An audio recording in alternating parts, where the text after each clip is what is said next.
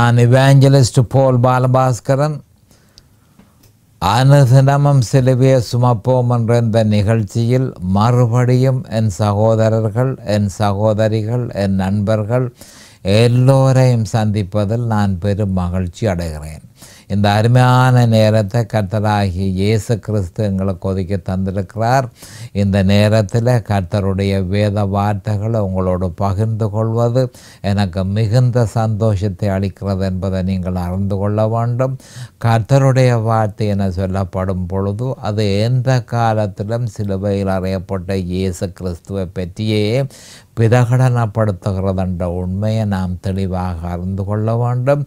கர்த்தருடைய வார்த்தையினை சொல்லப்படும் பொழுது அவருடைய வாயிலிருந்து புறப்படுகிற வார்த்தையே கர்த்தருடைய வார்த்தை எனப்படும். ஆதியாகமம் ஒன்று ஒன்றில் இருந்து வெளி இருபத்தி ரெண்டு இருபத்தி ஒன்று வரையும் இருக்கிற சகல வேத வாக்கியங்களும் சிலுவையில் அறையப்பட்ட இயேசு கிறிஸ்துவை பற்றியே பிரகடனப்படுத்துகிறதான்ற உண்மையை நாம் தெளிவாக அறிந்திருக்க வேண்டும் மிக முக்கியமான ஒரு விஷயம் நாம் இப்பொழுது வேத வார்த்தைக்கு போவோம் டோமர் ஆறு பதினொன்று டோமர் ஆறு பதினொன்று அப்படியே நீங்களும் உங்களை பாவத்திற்கு மரித்தவர்களாகவும் நம்முடைய கத்தராகிய இயேசு கிறிஸ்தவுக்குள் தேவனுக்கென்று பிழைத்திருக்கிறவர்களாகவும் எண்ணிக்கொள்ளுங்கள். அப்போ இந்த வேத வாக்கியத்தில் நீங்கள் இலகுவாக காணக்கூடியதாக இருக்குது ரெண்டு விஷயத்தை நாம் செய்ய வேண்டியதாக இருக்குது. ஒன்று மரித்தவர்களாக எண்ணிக்கொள்ள வேண்டும். மற்றது பிழைத்திருக்கிறவர்களாக எண்ணிக்கொள்ள வேண்டும். அப்போ யாருக்கு மறித்தவர்களாக பிழைத்திருக்க வேண்டும் என்று சொன்னால் அந்த பாவத்திற்கு மறித்தவர்களாகவும் தேவனுக்கென்று பிழைத்திருக்கிறவர்களாகவும் எண்ணிக்கொள்ளுங்கள். அப்போ சிலுவையில் அறையப்பட்ட இயேசு கிறிஸ்துவை நம்முடைய சொந்த ரட்சகராக ஏற்றுக்கொண்டவுடன் இப்படி உங்களுக்கு நடந்தது. இதனைத்தான் பரிசுத்தாவியானவர் சொல்லுகிறார். இப்படி உங்களுக்கு நடந்தது. அதனை நீங்கள் எண்ணிக்கொள்ள வேணும் என்று சொல்லப்பட்டிருக்கு. நாம் இப்பொழுது ஜபத்திற்கு கடந்து செல்லுவோம்.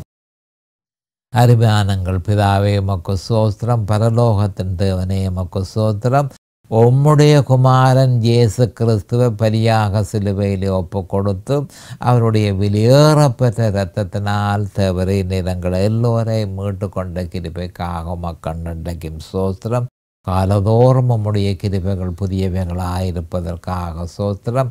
கிருபையினாலும் இரக்கங்களினாலும் தேவரை நிறங்களை முடிசூட்டினதற்காக மக்கண்டைக்கும் சோத்திரம்.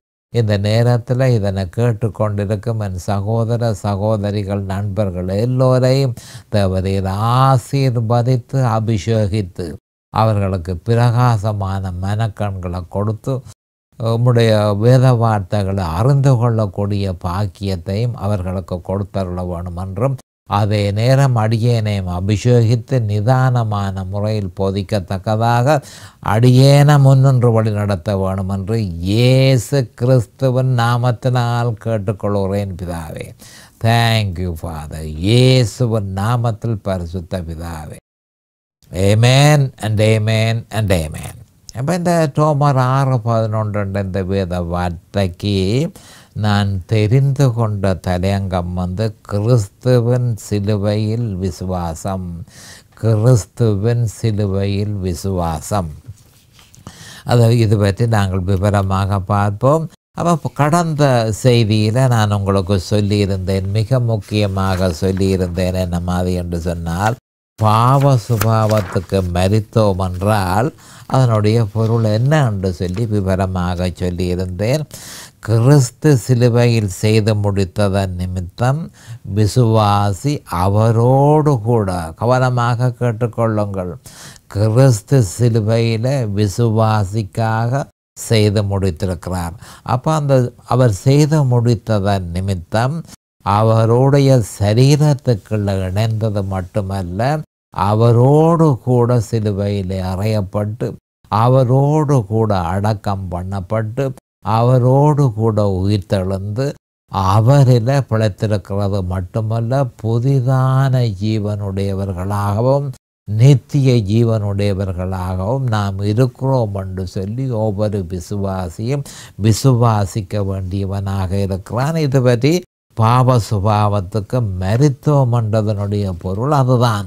பாவ சுபாவத்துக்கு மறித்து தேவனுக்கென்று பிழைத்திருக்கிறோம். மறுபடியும் சொல்கிறேன் பாவ சுபாவத்துக்கு மரித்து தேவனுக்கென்று பிழைத்திருக்கிறோம். புதிதான ஜீவன் உள்ளவர்களாகவும் நித்திய ஜீவன் உள்ளவர்களாகவும் பிழைத்திருக்கிறோம் என்று சொல்லி நாங்கள் கடந்த செய்தியில் பார்த்தோம். இப்பொழுது தொடர்ந்து தொடர்ந்து அதே அதே செய்தியை தொடர்ந்து பார்ப்போம். விசுவாசி தன் சொந்த பலத்தினால அப்போ இப்படி செய்கிறத தன்னுடைய சொந்த பலத்தினால விசுவாசி செய்ய முடியுமோன்னு சொன்னால் அது ஒரு பொழுதும் முடியாதுன்ற உண்மையை நாம் அறிந்திருக்க வேண்டும். விசுவாசியினுடைய சொந்த பலத்தினால ஒரு பொழுதும் இதனை செய்ய முடியாது. இதை செய்ய முடியாது? ஏ எண்ணிக்கொள்கிறத இலகுவான விஷயம் என்றதல்ல. அப்போ விசுவாசி வல்லமையை பெற்றுக்கொள்வதற்கு ஆதாரம் உண்டு புதிதான ஜீவன் அவனுக்கு உண்டு விசுவாசி அந்த பாவத்துக்கு மறித்தேன் என்று எண்ணிக்கொள்ளும் பொழுது புதிதான ஜீவன் தனக்கு தரப்பட்டது என்பதனை அவன் எண்ணிக்கொள்ள வேண்டும் நான் உங்களுக்கு சொல்லியிருந்தேன் அப்போ அவன் எண்ணிக்கொள்ள வேண்டியது என்ன என்று சொன்னால் இயேசு கிறிஸ்துவை தன்னுடைய சொந்த இரட்சகராக ஏற்றுக்கொண்ட பொழுது புதிதான ஜீவன் தரப்பட்டதென்றும் நித்திய ஜீவன் தனக்கு தரப்பட்டதும் என்றும் அவன் எண்ணிக்கொள்ள வேண்டும். அப்போ அவன் தொடர்ச்சியாக இதை எண்ணிக்கொள்ள வேண்டும் என்று சொல்லப்பட்டிருக்கிறது. அது நமக்குள் வல்லமையாக செயல்பட்டு நம்மால் செய்ய முடியாத எல்லாவற்றையும் நமக்காக செய்யும் நமக்காக செய்யும். வேறொரு வழியும் நமக்கு இல்லை. நாம் அந்த பாவத்துக்கு மறித்திருக்கிறோம். பரிசுத்த ஆவியானவர் நம்மால் செய்ய முடியாத எல்லாவற்றையும் நமக்கு செய்கிறார். அப்போ இயேசு கிறிஸ்துவை சிலுவையில் அறையப்பட்ட அவரை முற்று முழுதுமாக விசுவாசித்து அந்த விசுவாசத்தில் ஒருவன் நிலைத்திருக்கும் பொழுது என்ன நடக்குது என்று சொன்னால் பரிசுத்த ஆவியானவர் செயற்பட தொடங்குகிறார் வேறு எந்த விதமாக எண்ணிக்கொண்டால் என்ன? வேறு எந்த விதமாக விசுவாசித்தால் என்ன? பரிசுத்த ஆவியானவர் செயற்பட போறதில்லை. பரிசுத்த ஆவியானவர் செயற்பட போறதா இருந்தால் ஒன்று குறைந்திய ரெண்டு ரெண்டில் சொல்லப்பட்ட மாதிரி நாம் விசுவாசத்தை மேற்கொள்ள வேண்டும். அப்படி செய்யும் பொழுது பரிசுத்த ஆவியானவர் வேலை செய்ய தொடங்குகிறார் வேலை செய்ய தொடங்கி நம்மால் முடியாத எல்லாவற்றையும் அவர் செய்கிறார். நம்மால் முடியாத எல்லாவற்றையும் அவர் செய்கிறார் என்பதை நாம் அறிந்து கொள்ள வேண்டும். ஏனென்று சொன்னால் நம்மால் செய்ய முடியாது என்றபடியால் தான். கவனமாக கேட்டுக்கொள்ளுங்கள் இந்த மரண சரீரத்தில் சாவுக்கு ஏதுவான சரீரத்தில் நாம் இருக்கிறபடியினால் தேவனுக்கு ஏற்ற மாதிரி ஒவ்வொன்றையும் செய்ய முடியாத ஒரு நிலைமையில நாம் இருக்கிறோம் என்பதை அறிந்து அதனை எண்ணிக்கொள்ள வேண்டும். ஆனபடியால் தான் பரிசுத்த ஆவியானவர் நம்முடைய இருதயத்தில் வந்து நம்மால் செய்ய முடியாததை அவர் செய்கிறார். அப்போ அதற்கு அவர் எதிர்பார்க்கிறது என்ன? உன்னுடைய விசுவாசத்தை இயேசு கிறிஸ்துவில் வெளிப்படுத்து அவர் சிலுவையில் செய்து முடித்ததில் வெளிப்படுத்து அதை எண்ணிக்கொள் தொடர்ந்து எண்ணிக்கொள்.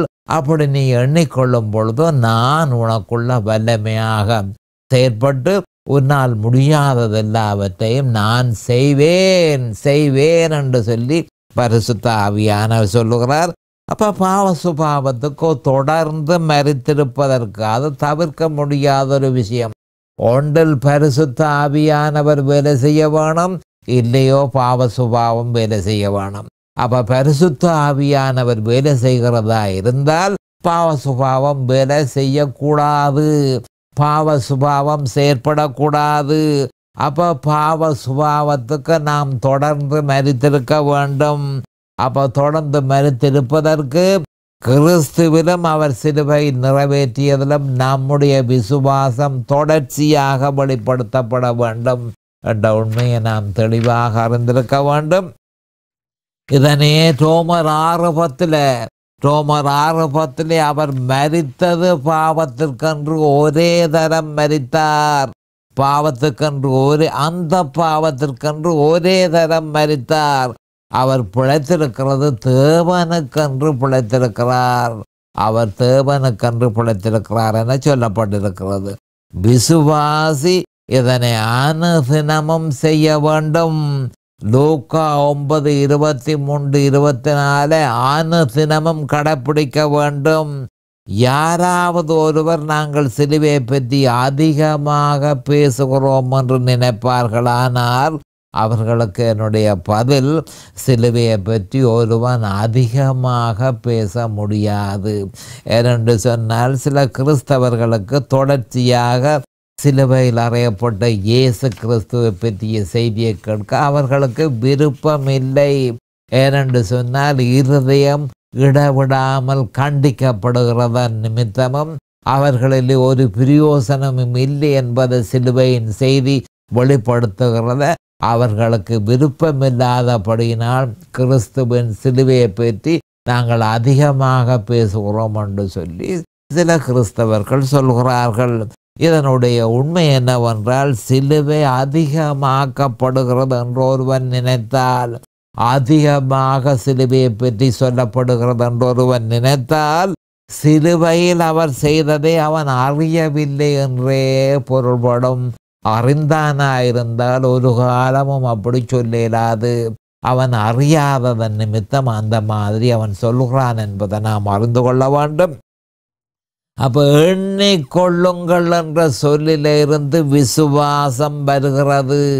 எண்ணிக்கொள்ளுங்கள் என்ற சொல்லிலிருந்து விசுவாசம் பெறுகிறது.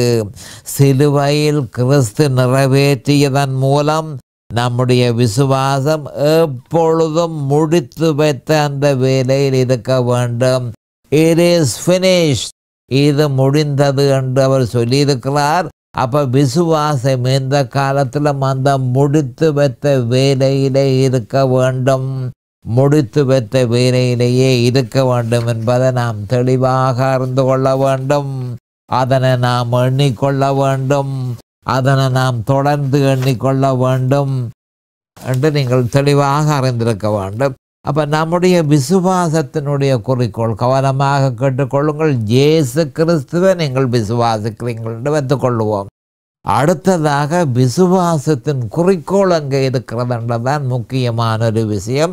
அப்போ இயேசு கிறிஸ்துவை விசுவாசித்தால் அந்த விசுவாசத்தின் குறிக்கோள் இந்த காலத்திலும் அவர் சிலுவையில் செய்து முடித்ததில் அந்த விசுவாசம் இருக்க வேண்டும். அப்போ இயேசு கிறிஸ்துவை விசுவாசிக்க வேணும். அவர் சிலுவையில் செய்து முடித்ததை விசுவாசிக்க வேண்டும். எந்த காலத்திலும் எந்த காலத்திலும் அதனை விசுவாசிக்க வேண்டும். அதிலே எந்த விதமான மாற்றமும் இருக்கக்கூடாது. அப்போ நான் சொல்லுகிறது என்னென்று சொன்னால் இயேசு கிறிஸ்துவை கன பேர் அநேகமான பேர் இயேசு கிறிஸ்துவை விசுவாசிக்கிறார்கள். ஆனால் அவர்கள் கிறிஸ்து சிலுவையில் செய்து முடித்ததை அவர்கள் விசுவாசிப்பதில்லை. அவன் நான் என்ன சொல்கிறேன் என்று சொன்னால் இயேசு கிறிஸ்துவை விசுவாசித்தால் இயேசு கிறிஸ்து சிலுவையில் செய்து முடித்ததையும் விசுவாசிக்க வேண்டும். அது ஒரு பொழுதும் மாற்றக்கூடாது. அப்படியாயின் மேற்கொ அப்போ சில கிறிஸ்தவர்களுக்கு இப்படி சொன்ன உடனே அவர்கள் என்ன சொல்கிறார்கள் என்று சொன்னால் இப்போ அப்படியா இருந்தால் நாம் இதுகளை அனுதினமும் ஆர்க- நீங்கள் சொல்லுகிற மாதிரி இதுகளை நாங்கள் அனுதினமும் எங்களுடைய வாயினாலே அறிக்கை செய்தோமானால் நாம் சரியான முறையில் எண்ணிக்கொள்கிறோம் என பொருள்படுமா? என சில கிறிஸ்தவர்கள் கேள்வி கேட்பது உண்டு அப்போ எண்ணிக்கொள்ளுங்கள் என்று அவர்கள் என்ன சொல்லுகிறார்கள் என்று சொன்னால் அறிந்த விஷயத்தை எங்களோட வாயினால நாங்கள் சொன்னோம் என்று சொன்னால் நாங்கள் எண்ணிக்கொள்கிறோமா? அது சரியான்னு சொல்லி அநேகமான கிறிஸ்தவர்கள் கேட்கிறார்கள். கவனமாக கேட்டுக்கொள்ளுங்கள். இப்போ இந்த விதமாக சாத்தான் பல்வேறு விதமான ஏமாற்று வழிகளை கொண்டு வந்து வஞ்சித்து கிறிஸ்தவர்களை சரியான முறையில் விசுவாசிக்க விடாமல் சாத்தான் வழி நடத்துகிறான் என்பதை கிறிஸ்தவர்கள் முதல் அறிந்து கொள்ள வேண்டும். அதாவது அரைக்க இடுவது வாயினாலே அரைக்க இடுவது ஒரு அடி வாயினாலே அரைக்க இடுவதற்கு பெயர் எண்ணிக்கொள்வதல்ல. அரைக்க இடுவது வந்து ஒரு கிரியை என்பதை நாம் அறிந்து கொள்ள வேண்டும். தேவையானது கிறிஸ்துவின் சிலுவையை பற்றி அறிவு. அப்ப அறிக்கையிடுவதல்ல அறிவை பெற்றுக்கொள்ளுகிறது தான் முக்கியமானது. அந்த அறிவு தெளிவாக இருக்கும் பொழுது விசுவாசம் பலப்படும். கிரியைகளும் பலப்படும்.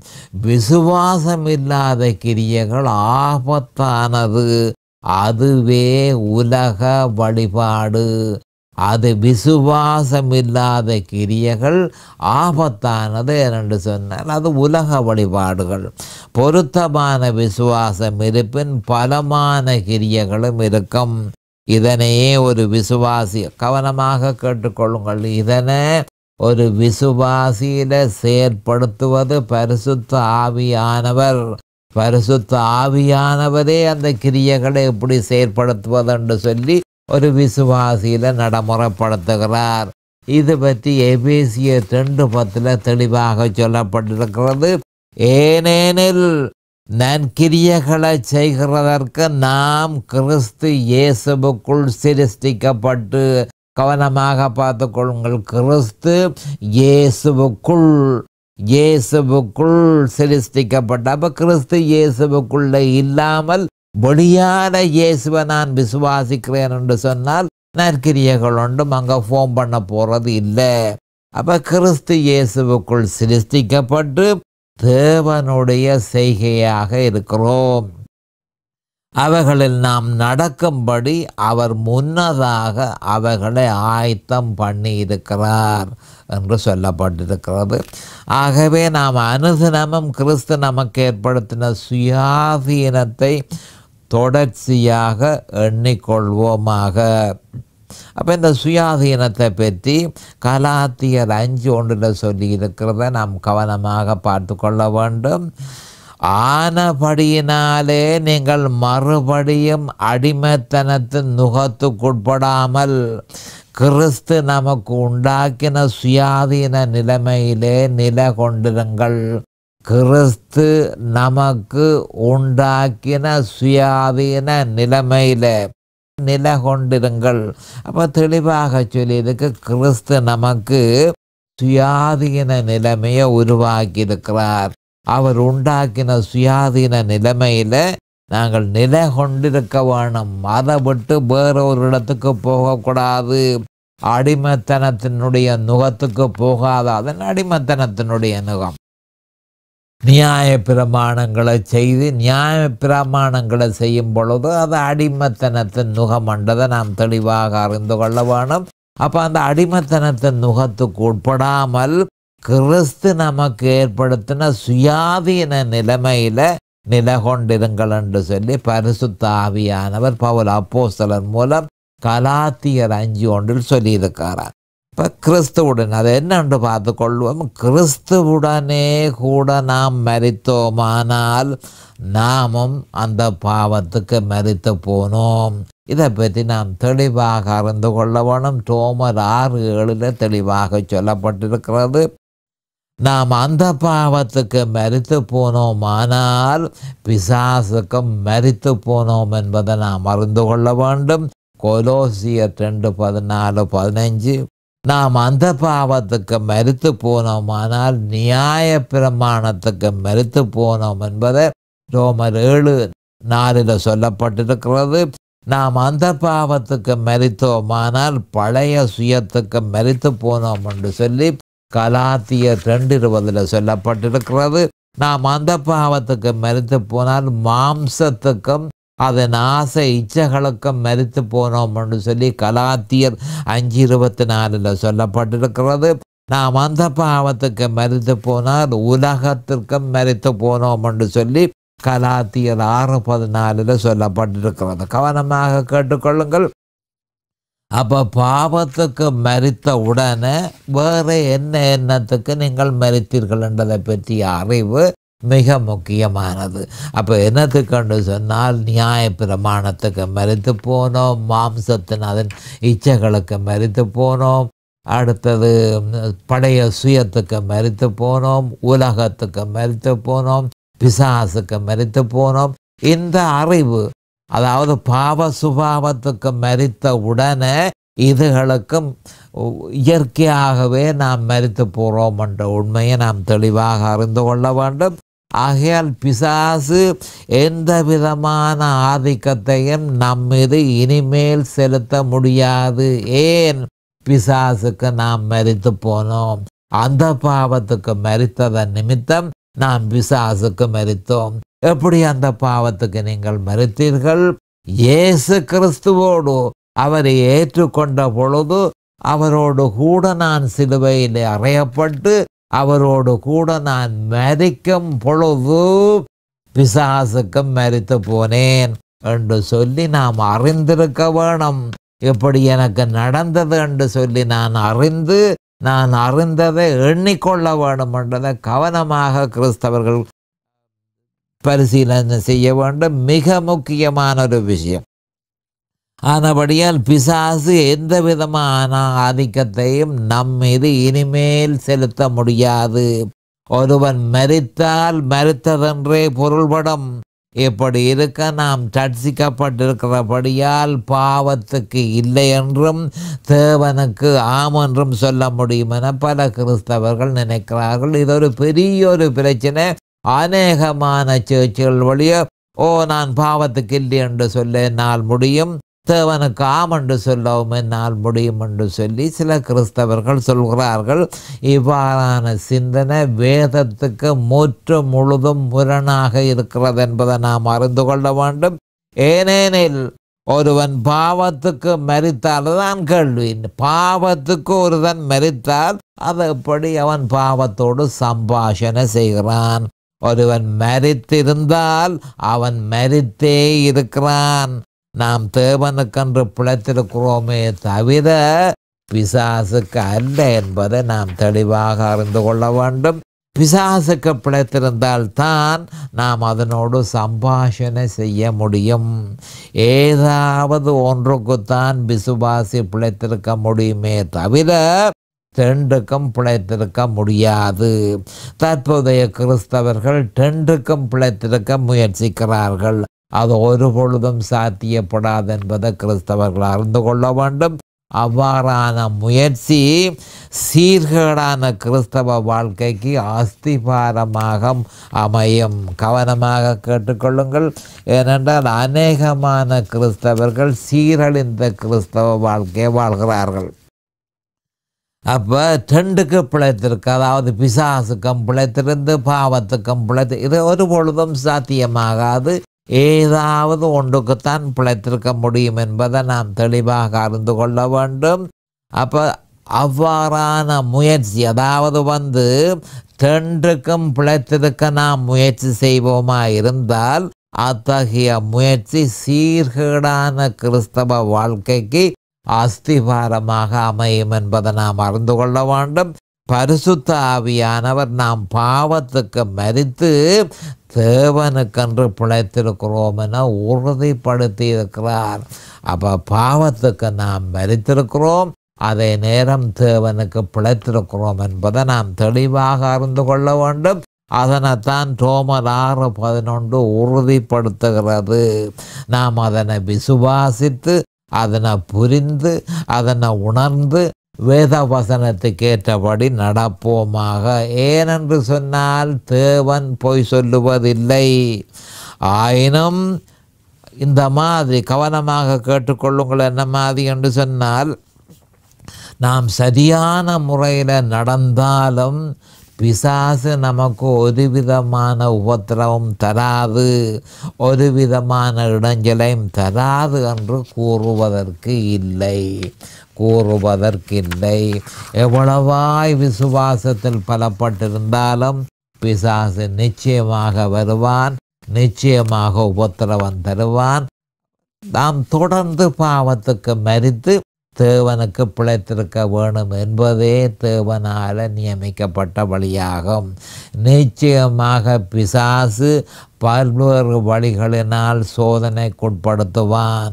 ஏனென்று சொன்னால் சரியான விசுவாசம் இருக்குமா இருந்தால் ஏராளமான சோதனைகளை நிச்சயமாக சந்திக்க வேண்டி வரும் என்பதை தெளிவாக அறிந்து கொள்ள வேண்டும். ஏனென்று சொன்னால் விசுவாசம் எந்த காலத்திலும் சோதிக்கப்பட வேண்டியதே. சகல சோதனைகளும் நம்முடைய விசுவாசத்தை சோதிப்பதற்காகவே என்பதனை நாம் ஒரு பொழுதும் மறந்துவிடக்கூடாது அப்போ சோதனை எல்லா விதமான சோதனைகளும் வருகிறதுக்கு முக்கிய காரணம் என்ன? நம்முடைய விசுவாசம் சோதிக்கப்பட வேணும் என்று சொல்லி ஆண்டவர் எதிர்பார்க்கிறார். அப்போ இதை நாம் தெளிவாக மனதில் வச்சிருக்கோணும் எனக்கு ஏற்படுகிற சோதனை என்னுடைய விசுவாசத்தை சோதிப்பதற்காக தேவனால தேவனால நடத்தப்பட்டது அல்லது தேவனாலே அனுமதிக்கப்பட்டது என்பதை நாம் தெளிவாக அறிந்து கொள்ள வேண்டும். தேவனும் அதனை அனுமதிப்பார் என்று சொல்லி லூக்கா இருபத்தி ரெண்டு முப்பத்தொண்டு முப்பத்தி ரெண்டுலேயும் யோபு அதிகாரம் ஒன்று ரெண்டிலும் தெளிவாக சொல்லப்பட்டிருக்கிறது தேவன் சோதனையை அனுப்புவிப்பா அனுப்புவார். அப்போ கிறிஸ்துவின் சிலுவையை விட்டு விலைக்கு அப்போ சோதனையினுடைய நோக்கம் என்ன? கிறிஸ்துவின் சிலுவையை விட்டு விலக்கி வேறுதற்கும் திசை திருப்புவதற்கு சாத்தான் தன்னாலான சகல முயற்சிகளை மேற்கொள்வான். இந்த முயற்சியில் பாரிய வெற்றியை அவன் ஈட்டி அநேகரை அற்ப விசுவாசிகளாக்கி அநேகர விசுவாசத்தை விட்டு விலக்கி அவர்களுடைய ஆத்மாவை நித்திய நரகத்துக்கு வழிகோலி அனுப்பியிருக்கிறான் என்பதை நாம் தெளிவாக அறிந்து கொள்ள வேண்டும்.